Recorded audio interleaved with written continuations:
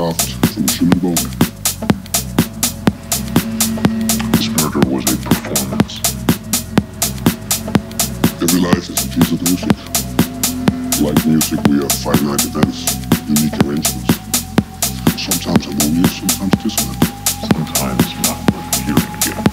He's a poet and a